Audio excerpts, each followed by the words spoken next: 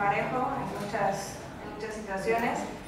Me voy contenta, me voy con, también con muchos aprendizajes. Creo que hubiera estado redondo una victoria, pero bueno, estamos este, bastante contentos con, con lo hecho.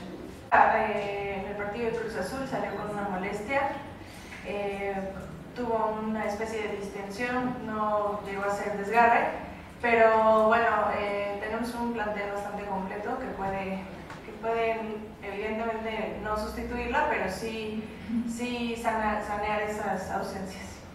Mm, sí, eh, ah, mira, nunca habíamos, al menos en esta liga, nunca habíamos estado con un marcador en contra.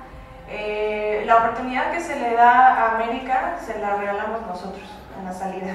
¿no? Ahí cometemos nosotros un error jugando hacia atrás, pero es el riesgo de proponer. Y bueno, pues eh, son errores individuales que hay que asumir y que hay que corregir.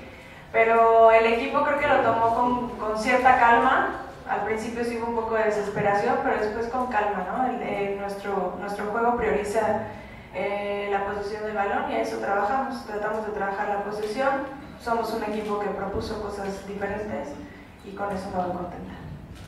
Pues te quiero decir que soy la primera sorprendida, eh, creo que cualquiera puede, puede, quisiera tener un estadio lleno y de noche y con la gente alentando, y la verdad es que fue un escenario que no preví.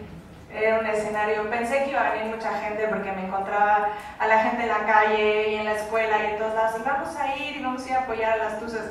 Y yo, ah, bueno, sentía que iba a venir mucha gente, pero no tanta gente. Entonces, hoy eh, lo, que, lo que, al contrario, usamos a la gente, ¿no? En el medio tiempo hablé de ellos, dije, no, no decepcionemos a la afición, la afición está aquí porque ustedes nos han inspirado. Entonces, úsenlos, úsenlos a su favor y creo que fue valioso.